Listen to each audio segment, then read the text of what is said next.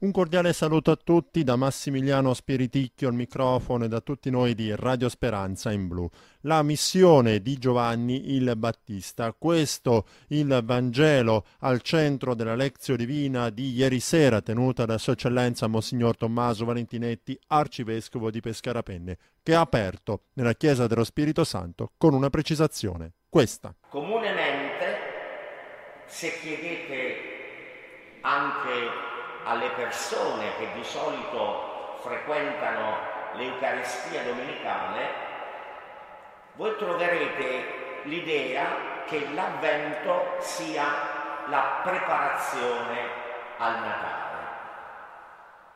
Questo è un concetto che dobbiamo togliere dalla nostra mente. L'avvento non è il tempo di preparazione al Natale. Il canto iniziale che abbiamo fatto, il bellissimo Maranatha, come sapete la parola Maranatha è l'ultima parola della Bibbia, è l'ultima parola del libro dell'Apocalisse, Maranatha, vieni Signore Gesù. Dunque le domeniche di avvento, la prima, la seconda, la terza e anche le ultime domeniche dell'anno liturgico, che cosa ci vogliono dire? Ci vogliono dire che dobbiamo essere preparati, vigilanti, attenti perché il Signore torna nella gloria. Questo concetto del Cristo che torna nella gloria è un concetto che purtroppo molto spesso rimane alla periferia delle nostre meditazioni e anche alla periferia delle nostre predicazioni. Cristo torna nella gloria e la Chiesa non fa altro che dire continuamente vieni Signore Gesù, vieni presto in mezzo a noi, vieni a instaurare quel regno di amore, di pace, di giustizia e di verità che tu solo puoi donare all'umanità che cammina nel tempo e nel tempo cerca di realizzare solo in figura quel progetto d'amore che tu hai fatto sull'umanità stessa, ma arriverà, o oh Signore, il tempo in cui tu ci troverai e verrai a parlare a ciascuno di noi. Per capirci meglio, aggiungo a questa annotazione la bellissima frase di San Paolo, fratelli, noi che siamo vivi non avremo nessun vantaggio nei confronti di coloro che sono morti. Infatti, quando il Signore verrà, giudicherà i vivi e i morti. Addirittura San Paolo aveva la cognizione, come del resto tutta la Chiesa primitiva, che Cristo sarebbe tornato da lì a poco tempo, perché veniva lui il Signore a instaurare il, de- il regno definitivo che aveva promesso ai suoi discepoli, che aveva promesso alla sua comunità. Man mano che il tempo passava e man mano che i secoli si sono accavallati nella storia della Chiesa, questa attenzione, questo desiderio, questo anelito di invocare il ritorno del Signore, di far sì che il ritorno del Signore venga presto, si è affievolito e molto spesso si è identificato il momento della morte con il momento del ritorno del Signore, ma non c'entra assolutamente nulla. Il Signore verrà e i morti risorgeranno. Ci sarà un cielo nuovo e una terra nuova e ci sarà un corpo nuovo, lo stesso corpo glorioso che Cristo ha avuto nel giorno della risurrezione. Una bella spiritualità di persone che camminano nella fede continua a dire Signore vieni presto e fa che tu mi trovi vivo quando tornerai nella gloria. Accadrà, non accadrà, nessuno di noi lo sa. Sappiamo che Cristo tornerà, ma il tempo del suo ritorno non è dato di sapere a nessuno. Solo il Padre lo sa. Dunque, Monsignor Valentinetti ha insistito sul fatto che nel Vangelo di Luca, quello in cui si parla di Giovanni Battista, eh, si eh, colloca temporalmente la storia, lo si fa non solo per un'esigenza di carattere storico, ma anche eh, per un contrappeso che c'è tra i personaggi citati che vivono nel fasto, ma anche nel peccato, e quel deserto in cui non c'è nulla, ma arriva la parola di Dio eh, che venne, ha detto eh, l'arcivescovo di Pescara Penne, su Giovanni. Eh, eh, eh ed è un invito che, una parola che produce effetto se ascoltata e non se non è ascoltata.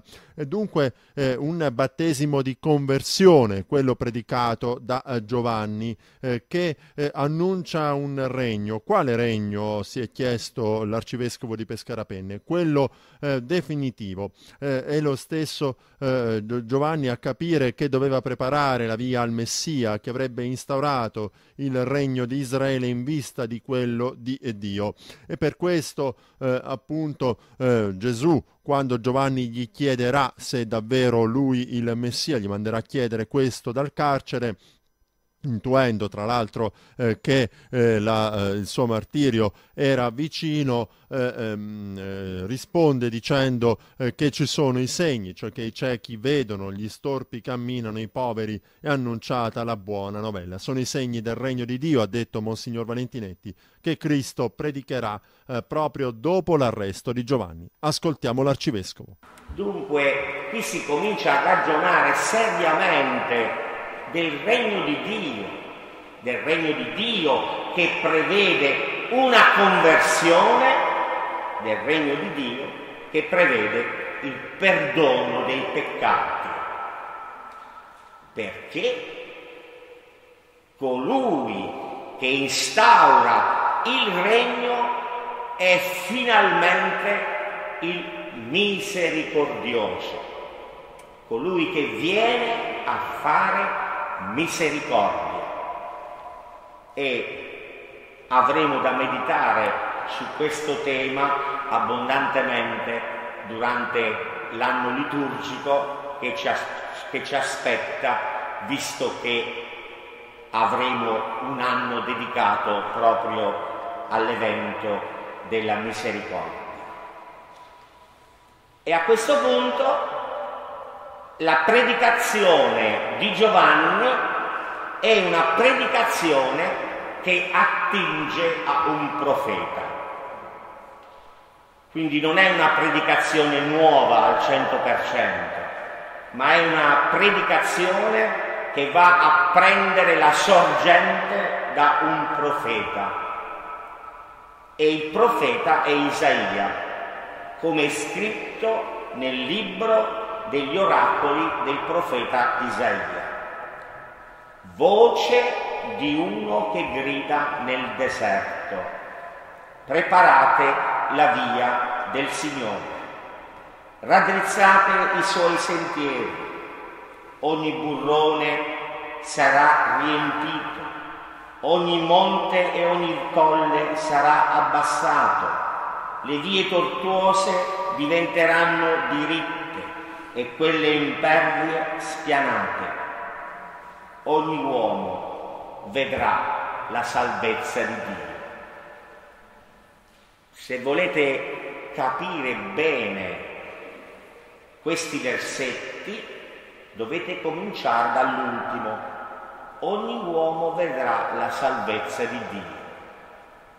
Cioè la salvezza di Dio in quel regno che verrà sarà totalmente manifesta. Non ci sarà più nessuno che potrà dire no, non è vero. È una salvezza che sarà conosciuta da tutti e riconosciuta da tutti. E questo evento straordinario, finale, ma è un evento finale dove tutti riconosceranno la salvezza di Dio. Mi, verrebbe la domanda a questo punto che potrebbe albergare nel cuore di qualcuno, anche gli ebrei lo riconosceranno? Certo, anche gli ebrei. Anche i musulmani lo riconosceranno? Certo, anche i musulmani. Gli induisti lo riconosceranno? Certo, anche gli induisti, eccetera. Potrei continuare la candilena fino alla fine. Ma proprio in forza di questa verità che noi siamo capaci oggi anche di dialogare con questi fratelli. Ma perché?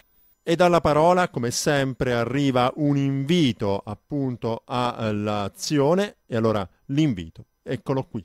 Ho cercato di capire che cosa potrebbe significare per noi in questo momento le valli colmate, i monti abbassati, le strade tortuose che diventano diritte e allora, siccome siamo all'inizio dell'anno della misericordia, mi sembra che potrebbero essere questi i monti abbassati, eccetera, eccetera. Sono cose che sapete, ma non ve lo ripeto.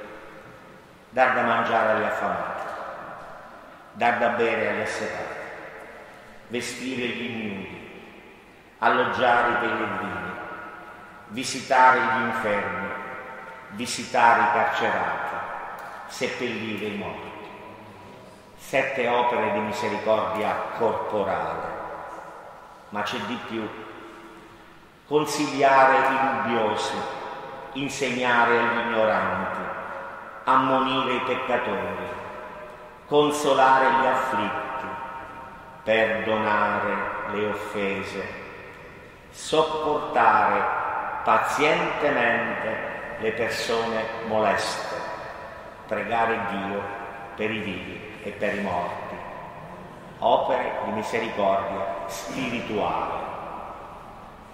Stiamo per far uscire un piccolo opuscolo della diocesi tramite ufficio Caritas con queste sette opere di misericordia corporale e sette opere di misericordia spirituale con brevi meditazioni in modo che li recuperiamo e li facciamo diventare via della nostra spiritualità, non solo adesso, non solo nell'anno della misericordia, ma sperando che la nostra conversione finalmente arrivi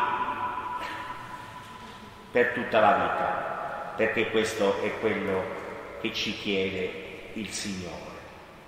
Ed è tutto, abbiamo riascoltato insieme la lezione divina di Sua Eccellenza Monsignor Tommaso Valentinetti, arcivescovo di Pescara-Penne, sulla lezione divina di Avvento.